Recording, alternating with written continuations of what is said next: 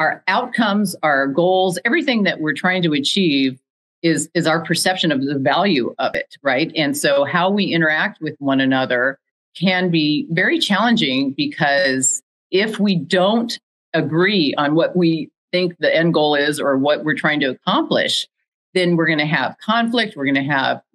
poor engagement, we're going to have poor innovation.